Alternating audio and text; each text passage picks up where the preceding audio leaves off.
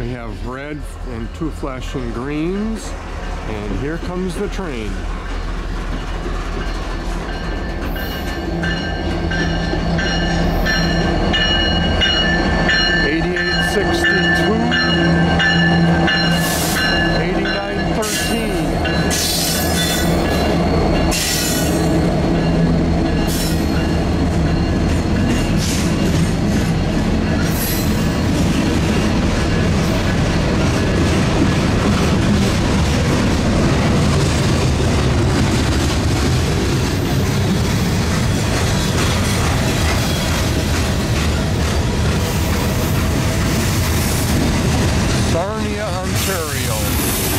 Outside of the Via Rail Station.